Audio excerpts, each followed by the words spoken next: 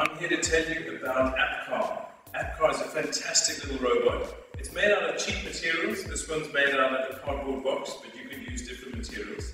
It's got some simple electronics that connect to the Wi-Fi. And the great thing is, you control it using an app made on AppShed. So once you've assembled your AppCar, we're ready to drive it. You just download the app from AppShed. It's a web app, so it runs in the browser. And you can control it with the little joystick screen. That's the easiest way to drive it.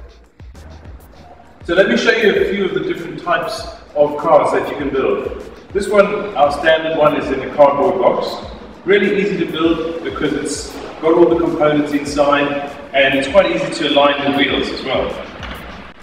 Our flagship design is this kind of diamond shape. This works nicely because the wheels have got a good distance between them, so it's easy to rotate and to balance using this. And we just put a, a trolley wheel, normally one trolley wheel at the back is fine.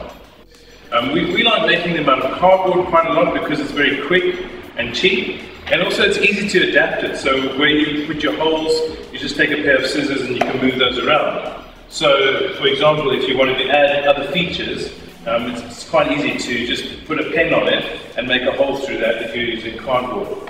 So these are some of the more um, standard designs, but here's one of our robots, we call this Robbie, the recycled robot. He's made out of a, a bunch of different recycled materials. This is something you hang your socks up on the line with. That's an AC adapter. It's quite fun, we gave ourselves a challenge. What can you build using recycled materials? And his arms even move, he can play basketball. So you might be wondering a bit about the space that we're in here. We call this the AppShed Arena. So all this equipment around me is internet connected sensors and devices. It's all about the Internet of Things. So as we drive our car around, we might drive underneath a distance sensor. And that can tell us that the car is just driven there. And these sort of things help us to understand how the Internet of Things interfaces with the modern world, with cars, with machinery, that kind of thing. So as you turn a switch on and off here, it might turn one of our lights on, and that helps us to simulate what happens in the real world with the Internet of Things. So what happens when your car just won't drive in a straight line?